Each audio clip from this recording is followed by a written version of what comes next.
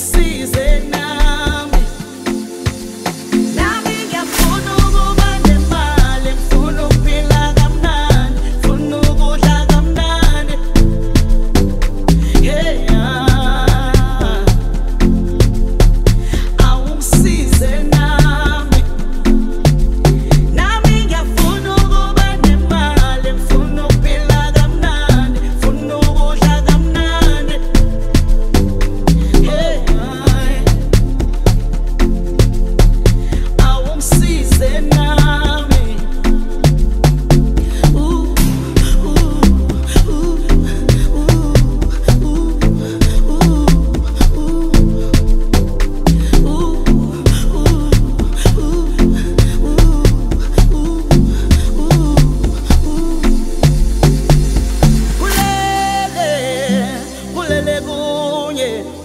kuvuke kuvusa abanye ohayi